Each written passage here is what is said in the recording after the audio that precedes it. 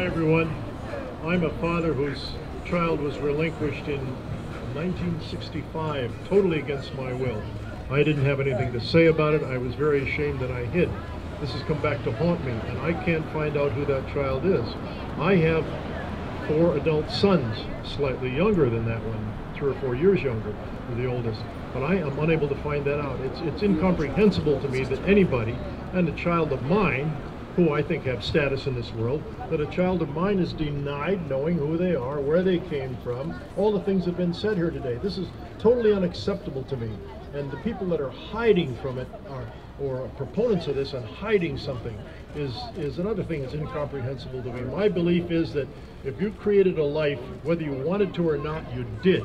And you can't get away from that responsibility. It's yours for the rest of your life just like my own sons of my marriage are. This previous child, whether it's a boy or girl, a man or woman, I don't know. But I am looking, and I'm not going to stop. And that's why I'm here as an advocate of, the, of this legislation, and to, I hope we'll be able to influence Ms. Weinstein to change her mind, change her stance, and let people have what is rightfully theirs. Thank you. Adoptees have the right to know. Sealed records have got to go.